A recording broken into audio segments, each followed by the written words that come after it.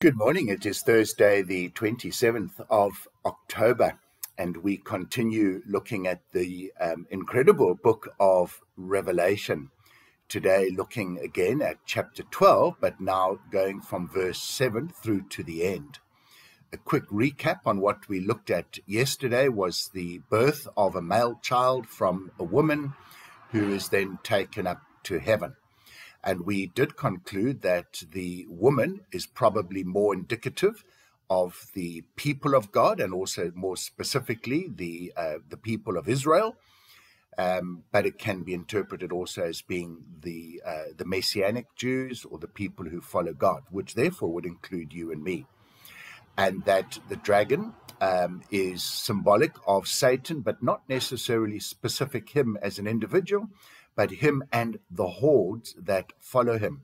Or to, to put that in a different way, those who are not standing with Christ, those who are therefore opposed to Christ. Remember, Scripture makes quite a clear definition that it's very difficult, impossible, in fact, to stand in some kind of middle, neutral ground. You're either for Christ or you're against Christ. And the um, woman and the child escaped to the desert.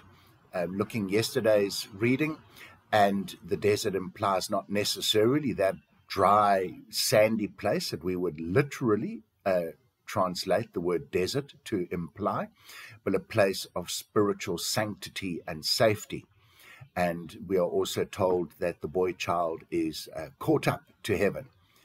And that um, boy child we did identify and ag- agree would be the Messiah, our Lord and Savior, Jesus Christ and his being caught up to heaven would imply his um, resurrection and ascension to heaven.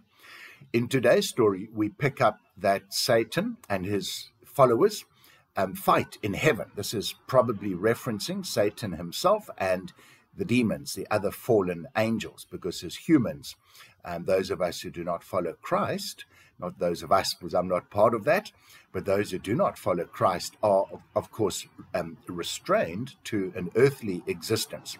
So the demons and Satan fight in heaven, and they are then cast out to the earth.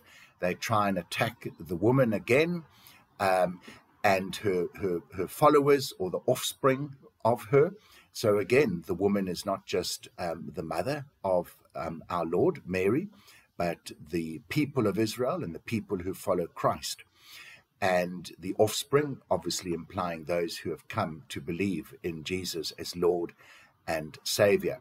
And this casting out of Satan and his followers, the demons, um, is not referencing the very first time Satan was cast out from heaven to give free roam of earth, but in a sense implies that final casting out. Now, is this something that will come in the in the future, or is it something that has already happened? I, I tend to lead to an understanding that it may still happen. And so that in this sense, then Revelation is speaking of a future event. But interestingly, we also know that the persecution that broke out against the church from the emperors Domitian um, and uh, Nero was intense, and the persecution and the and the fall of Rome not Rome, sorry, of Jerusalem in AD 70 was unbelievably um, traumatic to the people. And, and so many of the prophecies that Jesus gave, um, especially the Olivet discourses, um, speak, I believe, specifically of that time. And it could well be exactly what John is referencing here um, that intense persecution.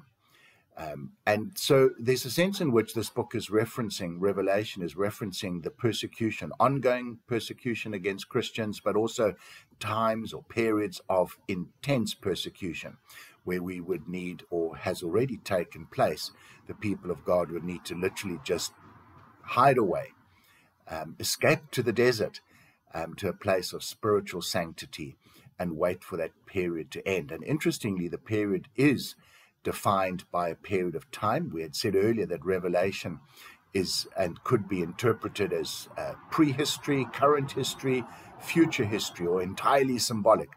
And there is a sense in which some period of time is, is given. It's it's given in different ways. Uh, 1,260 days, which equates to approximately three and a half years.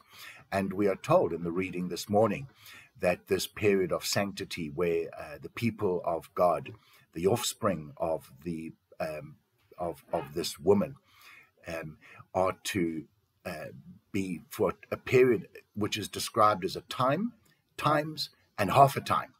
And we understand that, especially if we understand that a period of time has already been given of 1,260 days, three and a half years, that a time is then referencing one year, times as a plural is referencing then another two years. So we're already up to our three years, and then half a time back to three and a half years in total. So it, it kind of says that intense persecution that the Jews suffered with the fall of Jerusalem would be time bound, whether it was precisely 1,260 days is unlikely, but it was a period of time that was, can I say, manageable. Long enough to be serious, but not so long enough as to destroy all the followers of Christ.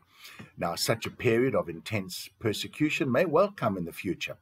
Um, I do believe that an element of the book of Revelation is to say to us, we live with Satan running around, a roaring lion, Jesus says, who is out to devour us. And so we don't necessarily run away, but we must know that there will be times of intense persecution. And so we hold faith to Christ that whatever happens is, in the eyes of God, time bound. There will be an end to it, and Christ will return and save his church, and Satan will be finally destroyed.